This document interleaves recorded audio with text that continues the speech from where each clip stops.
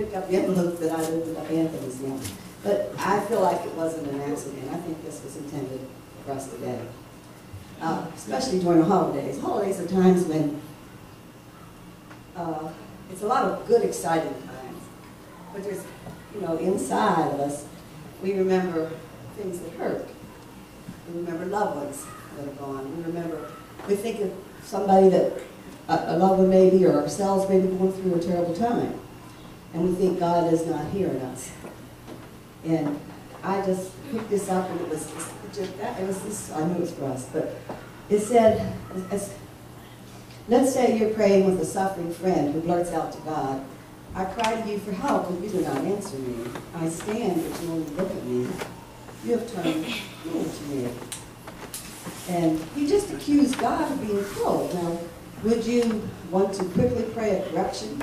You know, or, you know, we can say, Lord, we're just so thankful that you're sovereign over everything, and for the reality of Romans eight twenty-eight. Well, your prayer might be biblical, and there's times for it, but this person is really hurting. In fact, your prayers, your friend's prayer is actually in the Bible, and it's in Job, found in Job, and uh, it came out of the mouth of a man God considered the most blameless and upright on earth in his lifetime, and that's how he prayed. In Job 30, 20 to 21. So that actually was his prayer. I cry to you for help.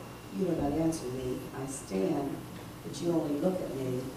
You have turned cruel to me. Doesn't reading that, doesn't reading that anguished prayer of godly man make you thankful? I love how honest the Bible is. The Bible just says it like it is, and sometimes just the way it feels, you feel. I love the fact that almost all the Bible's heroes were unvarnished, clay-footed sinners, and, and words we can all see. I love that sometimes they even wonder if God is just plain being cruel, because that's what we short-sighted, weak, and clay-footed, sinning stumblers learn at times when we're suffering. It means there's hope for us when we feel overwhelmed and disappointed and confused and disillusioned.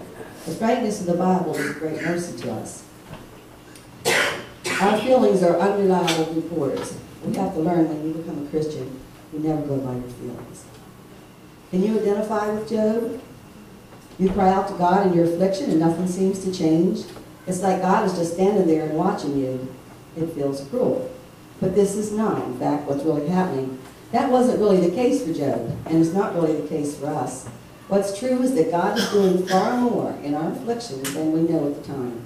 For Job, he didn't know that he was putting Satan to shame by trusting in God despite his desolate confusion. He didn't know that his experience would encourage millions for the millennium. He just knew that his pain felt unbearable at times, and it didn't seem like God was doing anything to help. And we, like Job, we don't know what mind-blowing designs God has in store, or what may feel unbearable and appear, feel, appear cruel to God. That, but we do know this. God has answering, was answering Job when it seemed he wasn't. And God was remembering David when David cried, Will you forget me forever? And when Jesus cried, My God, my God, why hast thou forsaken me? God had turned his back, his face, away from our sin, only to raise his son from the dead to undying, unsurpassed, eternal glory. Job's prayer and many others in the Bible help us to remember that sometimes it feels like God's being cruel when he's really not. They remind us that we can't trust what it feels like God is doing. We can only trust what God says He is doing. We all know from a thousand experiences that our feelings are unreliable reporters. Be quick to listen, slow to correct, and take heed. These texts are- also remind us that godly people sometimes feel and express these intense emotions, and often when they need what they need from us in that moment is not an immediate remedial theological course. What they need is a fellow groaner who will sit in silence with them, and when it's helpful, point them to the empathetic saints of Scripture who felt similar things and found God faithful after all. So you and your loved ones suffering may be inscrutable today, but in reality it's preparing you for them an eternal weight of glory beyond all comparison. We take and heart and hold on. If God feels cool today, you will discover someday that it was a pain-induced mirage and that He had graces planned for your life, for your joy beyond anything you've ever dreamed possible.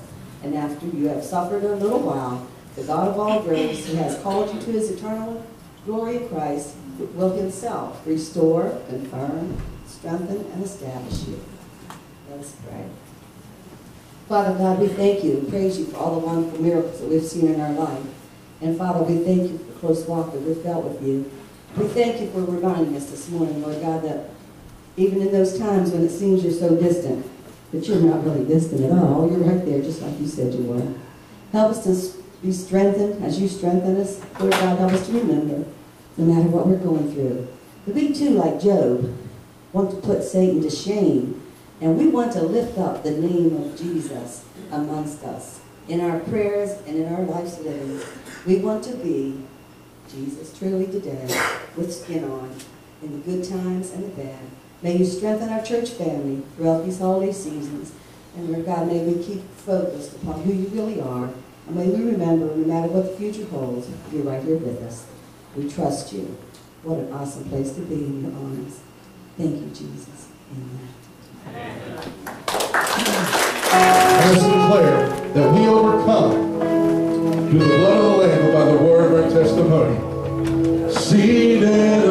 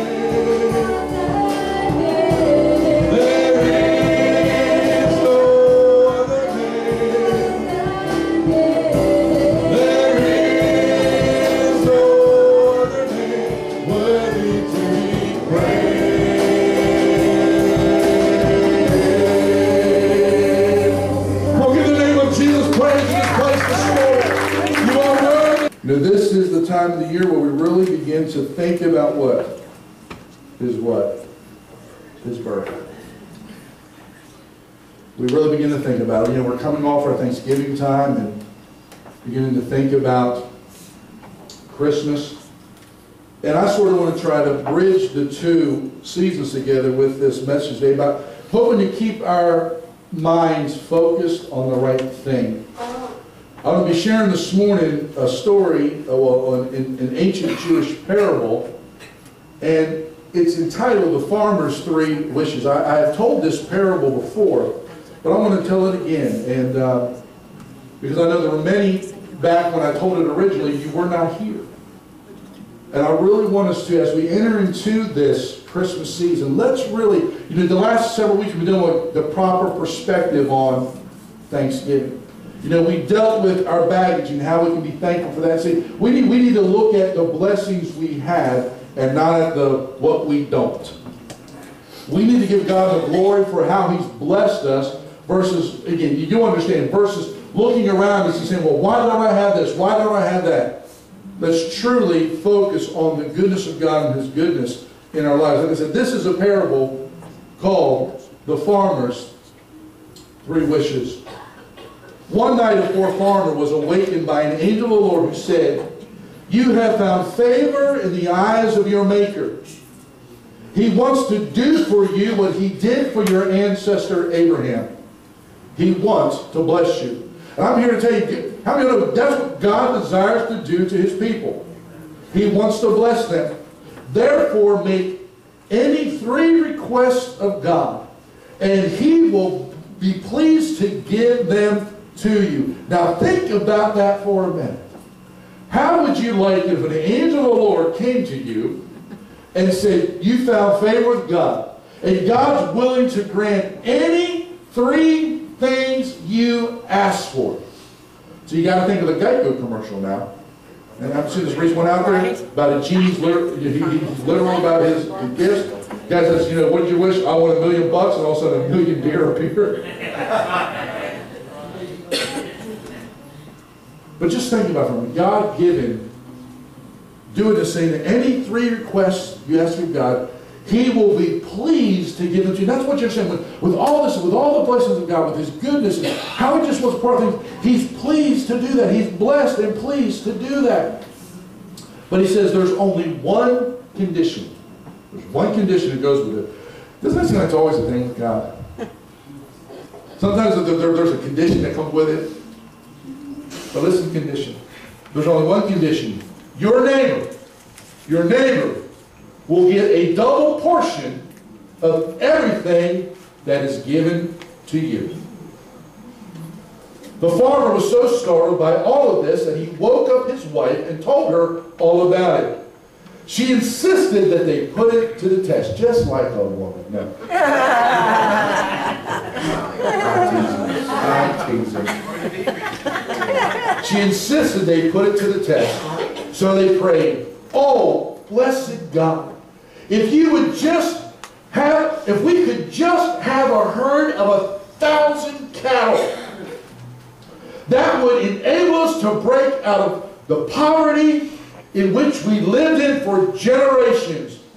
That would be wonderful. No sooner had they said these words than they heard the sound of animal noises outside. Lo and behold, all around the house were a thousand magnificent cattle. During the next two days, the farmer's feet hardly touched the ground. He divided his time between praising God for his great generosity and making practical, practical provisions for his newly found affluence.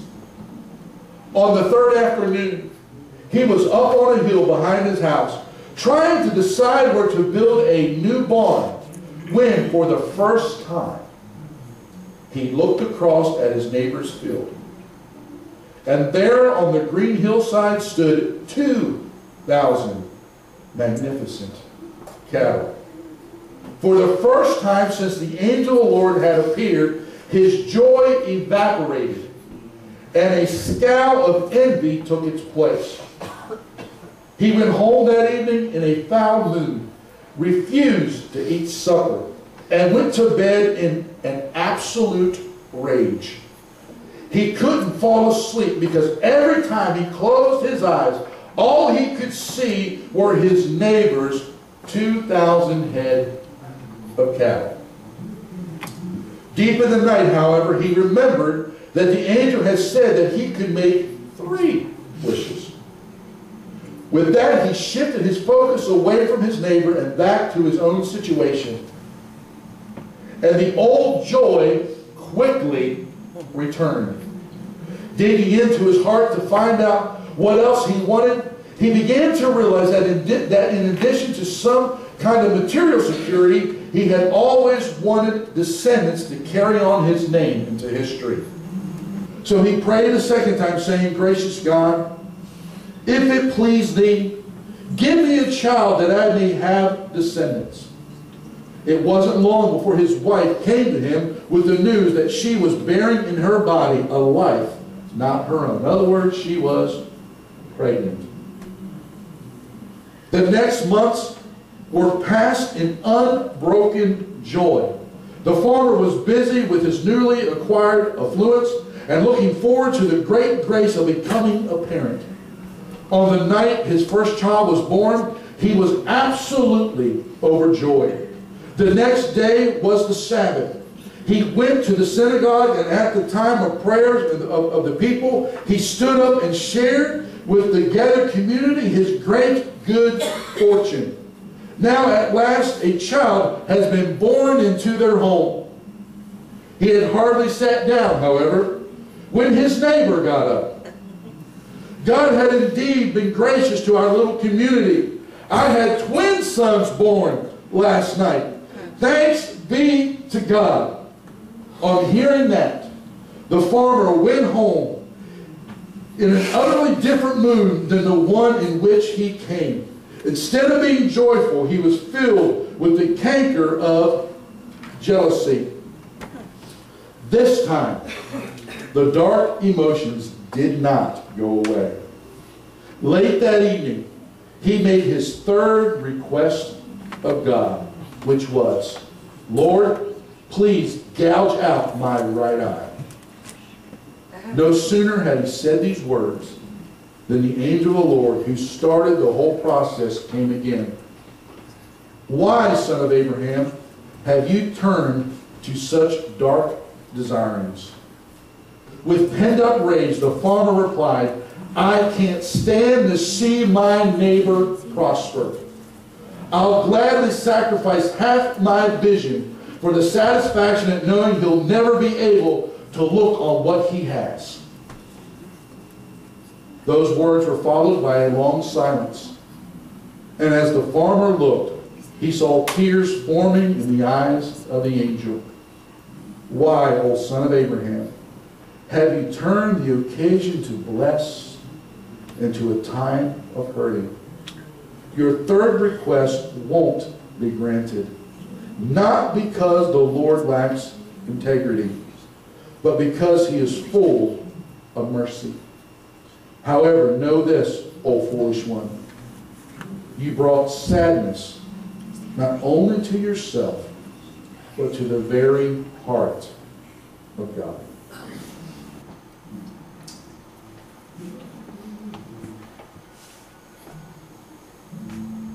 So what's the moral to this story? Why, Pastor, are you telling us this? Why would you read this story to us? If you want to be miserable,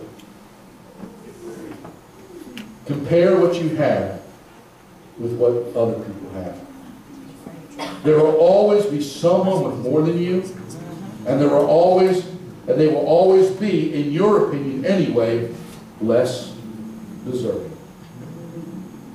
See, Jesus, he told a similar story in Matthew chapter 20 about a vineyard owner and, and a few workers who grew resentful of those who had received equal pay for less work.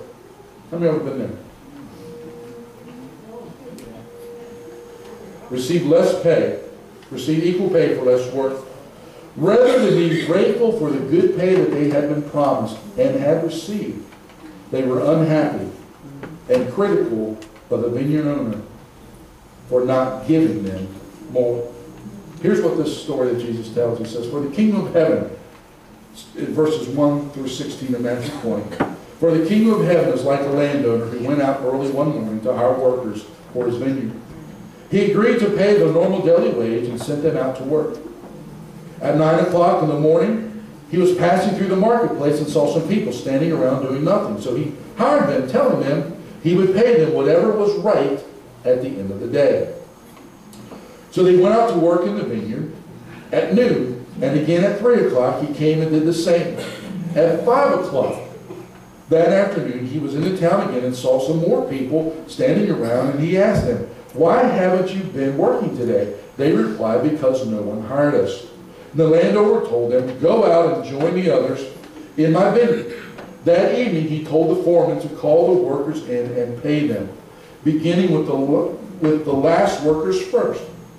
Then those hired at 5 o'clock were paid. Each received a full day's wage.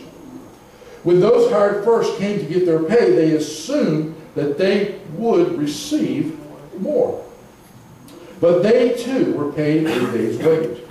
When they received their pay, they protested to the owner.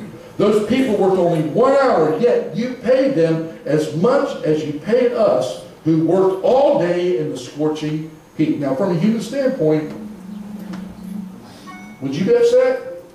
I know I'd be. I'd want to be ready to kick some butt. I'm speaking human, okay, from a human side. And he answered them, Friend, I haven't been unfair. Didn't you agree to work all day for the usual wage? Take your money and go.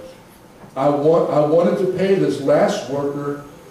Um, the, sorry. I wanted to pay this last worker the same as you. Is it against the law for me to do what I want with my money? Should you be jealous because I am kind to others? So those who are last now will be first then, and those who are first will be last. See, Jesus wants us to truly keep the proper perspective about things. God desires for us to just realize that, that if we're being blessed, we need to what? Be satisfied with those blessings because one of the Ten Commandments simply says this, thou shalt not covet. See, see, to covet means to be jealous of what other people have, to envy those who have more. These negative emotions rob you of your happiness and keep you from praising God for what He has given you. See, when we get our eyes upon other people and other things and, and things we don't have, it's very easy to start to do what? Become jealous and become better. But what we need to understand, God is a good God. Every good and perfect gift comes from above. And we need to keep our eyes upon the blessings of what He's given us so it does not rob us of our praise and the joy and the happiness that God desires for us to have. And again, if you compare yourself to those who have less, you may become proud. If you compare yourself to those who have more, you will probably become resentful. See, God wants you to be content and grateful regardless of what you have. Only then can He give you more. When we truly have a proper perspective on Thanksgiving, on a proper perspective of being content with what God has done, then God can truly bless our lives. He can truly come in and, and do the work. Because whenever we're constantly trying to compare, say, God, why do they have this and I don't? That's the wrong question. We need to make sure we stay in a heart and an attitude of gratitude and thanksgiving.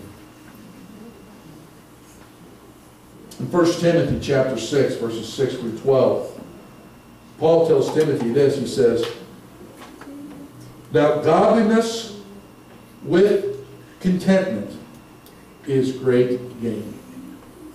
If you, again, now when I say this, I'm not telling you not to strive to do anything, not to strive to be anything. That, that is not what I'm saying this morning.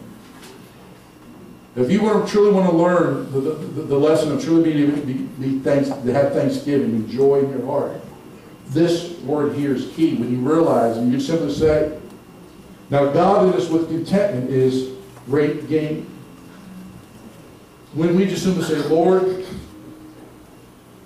as long as you're with me, as long as I have you, that's good. What was the song we just sang just a little while ago? Give me Jesus. You can have all this world, but give me Jesus. And folks, that's what our relationship with Him needs to be like.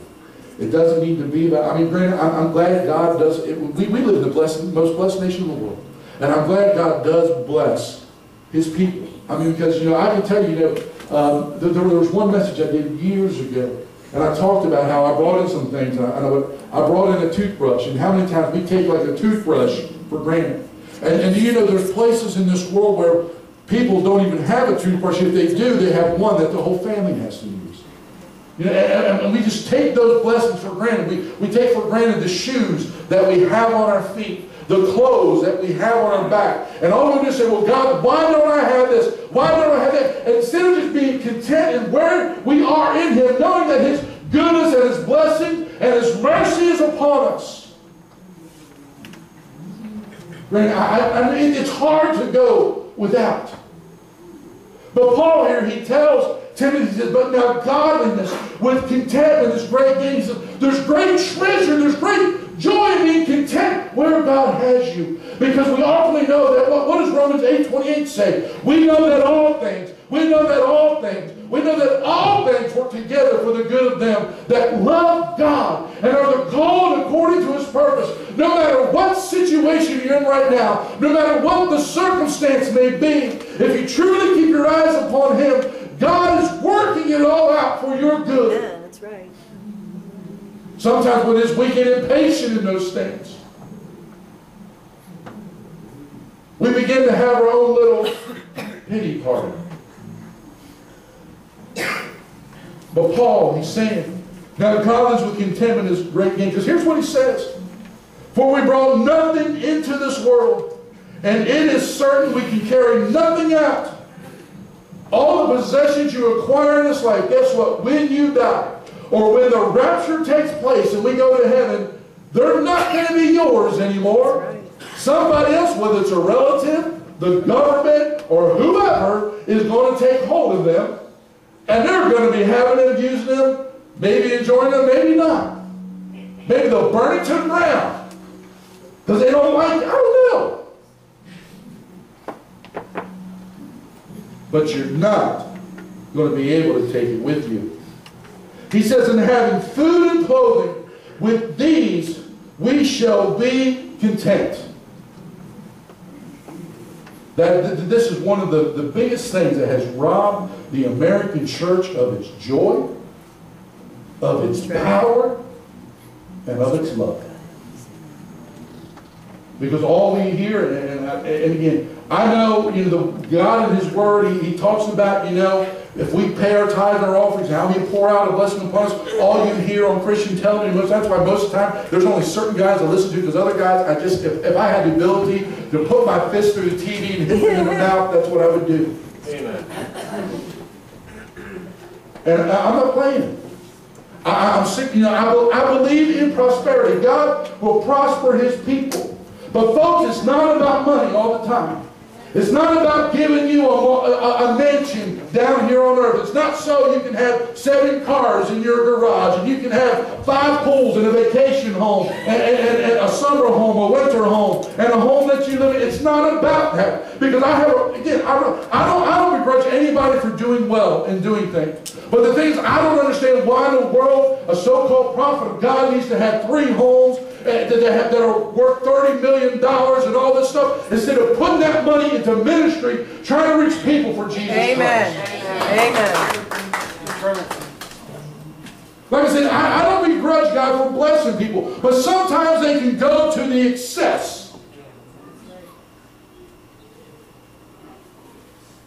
It's not about the money. It's not about money, but it's truly of getting to a place when we're content that God just meets our needs. I heard one minister a while back, he said, you know, he said there's some church, all they teach is, you know, you got to be a little Christian. And that's not what I'm preaching either. I want you to really understand what I'm trying to say. I'm not telling you that God wants you to be poor, because that's not Him. Because His Bible declares blessing and prosperity upon His children. I believe that we have those, the promises that God gave the, the nation of Israel because we are engrafted into that olive tree to that root that is Jesus Christ, that we are the wild branches brought in, as we read that Paul talks about. I believe that the promises he gave to Abraham, those promises are extended up because we are the children of Abraham, because we are the children of faith. And the Bible declares that the children of faith are the true children of Abraham. So we are, to the blessings that were given to Abraham, are given us. He wants to bless those who bless us, and he wants to curse those who curse us. He wants to pour out his blessings upon us. But it's not about the blessings. It's about us knowing that our fulfillment is found in him and in him alone.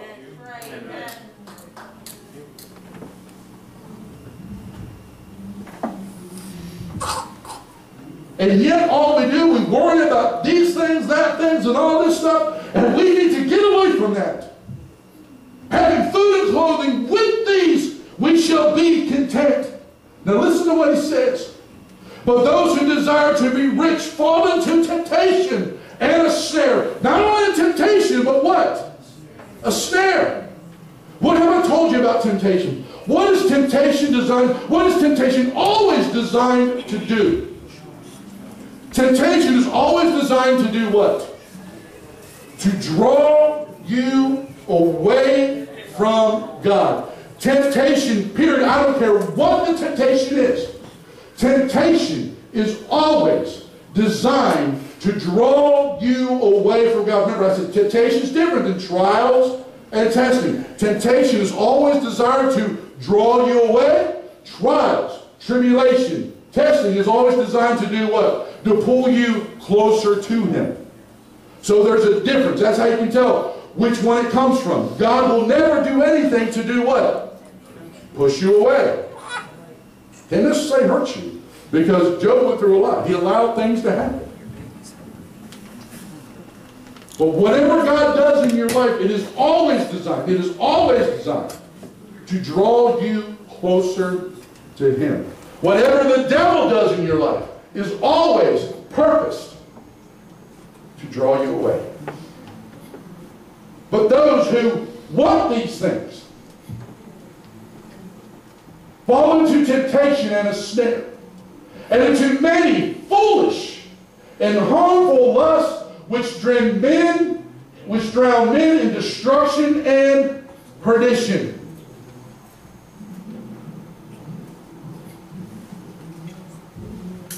Now, am I telling you it's wrong to have money or possessions? No, I am not. But listen to what he says in verse 10. For the love of money, the love of money is the root of all kinds of evil, for which some have strayed from the faith in their greediness and pierced themselves through with many sorrows.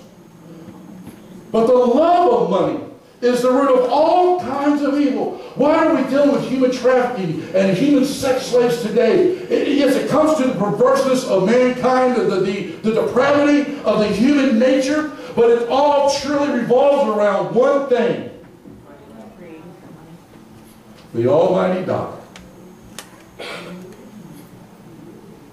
Have you ever seen the movie Taken? With Liam Neeson? Seen, if you see it, watch it on TV. Do not watch it on video. I didn't watch it on video. Don't watch it on video because I'm sure it has way too much language and everything else. So if you ever watch it, watch it on TV. But but but at the end of get towards the end of the movie, his daughter gets taken and she and she's sold into basically human trafficking. And she now he gets to where she is finally, and just when he thinks that, that you know he, he's going to lose, he gets free. And he, and he gets this guy, he, he wants to find out where he is, and the guy looks at him and says, It's nothing personal, it's only business. We need to be careful that we never develop that kind of attitude as a Christian. That whether we're on a job, if we're in a business, working for somebody, to where we try to justify unethical, unmoral, unchristian things by simply saying, Lord, it's nothing personal. In other words, Lord, I'm not doing this. My, my Christian part isn't doing this. It's just business. Yeah. Second.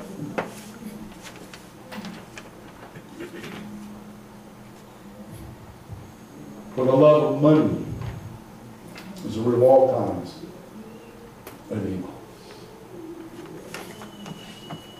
And that pursuit, as, as he says here, will pierce you with many sorrows. It will cause you to stray from the faith. Well, listen to what he says in verse 11. But you, O man of God, flee these things and pursue righteousness, godliness, faith, love, patience, gentleness. Fight the good fight of faith. Lay hold on eternal life to which you were also called, and had confessed the good confession in the presence of many witnesses. Oh, Jesus, forget about the pursuit of money. Don't let that be your main goal. Because here's the thing. If, if you remember, if you go back to what God was telling the children of Israel, he told them in Deuteronomy 28, if you, if you never read this chapter, you need to read it. But, he starts it off saying, if you pursue me with all of your heart. In other words, it means when we, go out, when we make God our main focus, when we, when we make sure that it's truly all about Him, it's all about following Him, it's all about serving Him, it's all about obeying Him, then He begins to list the blessings that literally not only come upon the children of Israel, but as the King James declares, that will literally overtake them. Literally, sort of like a rushing flood coming in from behind them. It will literally pursue them, overtake them, and envelop them. And it's not their pursuit of the blessings, It's their pursuit of the blesser.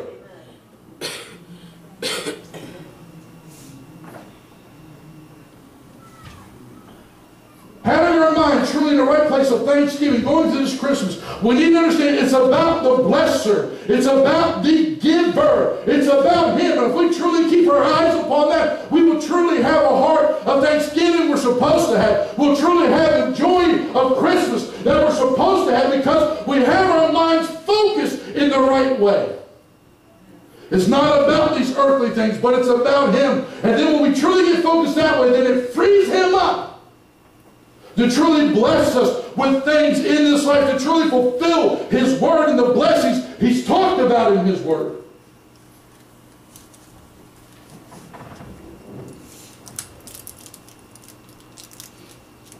In 1 Thessalonians 5.18, Paul tells the church of Thessalonica, he says, in everything give thanks. When we heard this parable, see, too many times, see, we, we would sit there, most of us would say, well, I wouldn't be like that neighbor. You, you don't know until you're in that situation. Because if the, enemy, if the enemy can get a foothold into something and cause where God wants to bless you into becoming a curse and a hindrance in your life, that's what he'll do. That's why you need to be careful. When you're pursuing him, all of a sudden, when these blessings overcome, do, do not become like the world and don't get focused on it. You've got to constantly keep your eyes upon the blesser. You've got to constantly keep your eyes upon the giver. Because when we get our eyes off of him, that's when we will find ourselves in trouble. So in all these situations, we have to be ready to give thanks to Him, for this is the will of God for us in Christ Jesus. Like I said, we must always keep an attitude of thanks towards God, be encouraged by these following verses. We always got to do this. There's going to be a couple verses I want to read to you to close out the message today. Listen, we just come off the hills of Thanksgiving. We're entering into what is called the, the most wonderful it's the most wonderful time of the year. And why is that? Because one name, because it's a time when we remember the coming of one name, Jesus Christ. Jesus of Nazareth, the Savior of the world. Emmanuel, God with us. For the angels declare glory to God in the highest, peace on earth goodwill toward men. See, that all came with this one Jesus. So we have a reason to celebrate. We have a reason to rejoice because the Savior has come. The Savior has been born. And his name is Jesus. So we can have thanksgiving. We can have joy. We can go through this season with an uplifted heart. See, don't let the enemy come in and rob you of your blessings. That's why we dealt with the whole baggage thing of getting rid of it, of destroying it. If you put it up here, you need to make sure that's where it stays. Burnt, and I, I burnt all, I made sure all that stuff was completely burned in that bucket. I have tried to asphyxiate you last Sunday, and I couldn't get it all burnt while it was in here, but when service was over, I made sure it was all burnt up. In fact is, I kept on relighting it until it wouldn't light anymore because it was so much ash. Don't let the enemy come in and lay back on you what you have given over to God. Because, again, He has given you the victory. Jesus Christ is the victorious one. And we need to make sure, if there's been any time before, in any time in history, we need to make sure we're walking in the freedom and the liberty that we have in Jesus Christ in this day in which we are living in now.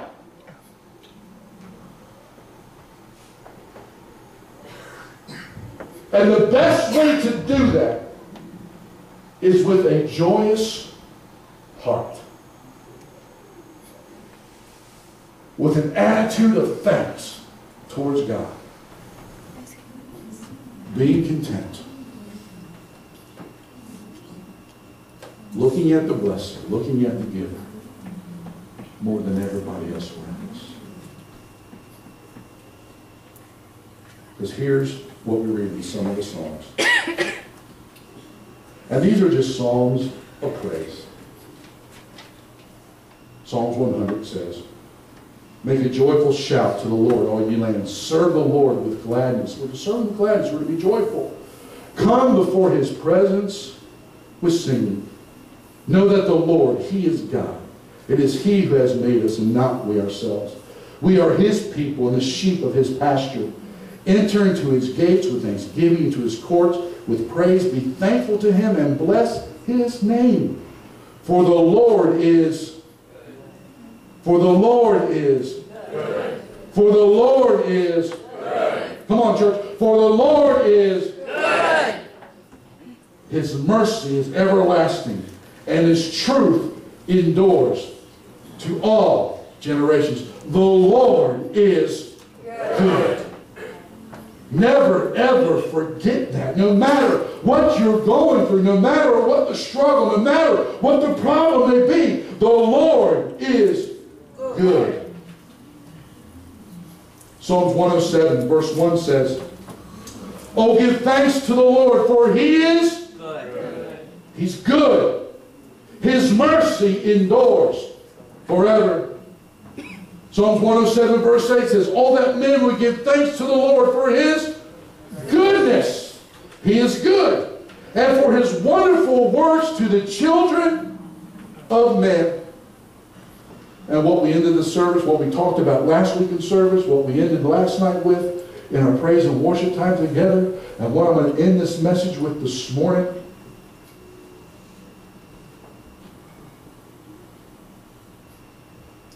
Psalms 103, 1 and 2.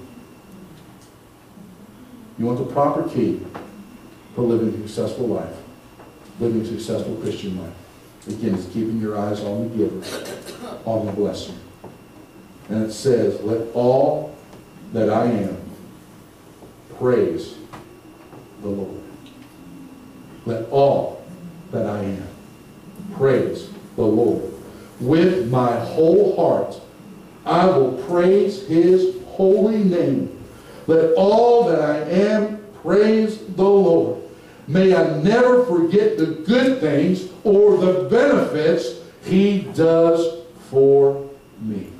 Let us never take for granted the goodness of the Lord even if it may be like we're like Job and everything he went through and the prayer that he prayed, God was still on the scene. He was still working because the Bible declares that the last, the latter part of Job, the end of Job's life, that God blessed him double than what he had before. Job was the wealthiest man in the land before God ever sent the initial, for God allowed the, the, the initial uh, trial and tribulation to come.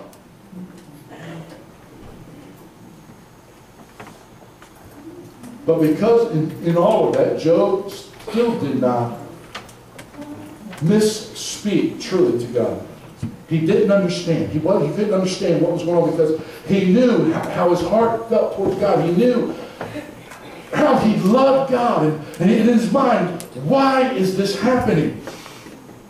And all the while was God showing, showing the devil, and plus showing us in future time what God will do when we keep our eyes upon the blessing and the giver instead of our circumstance. Because the same man that said the one stuff there, he also said earlier, though he slay me. Yes. We've said this a lot over this last little while, too, have Though he slay me, yet I will trust him. Because we must understand that God is good. He has our best interests at heart. But we need to get to a point where we need to understand, God, what you do another thing for me. I'm going to praise you. I'm going to trust you. I'm going to bless you.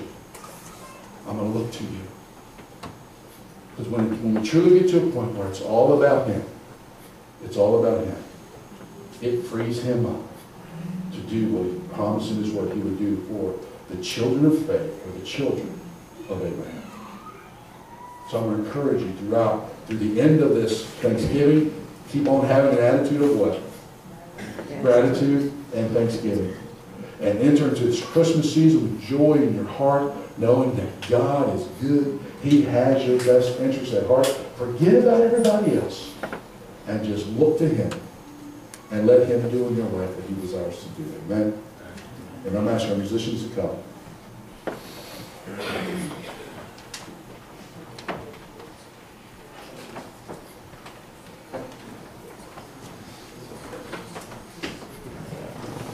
But, the, but how to get where we need to go, we find in this song.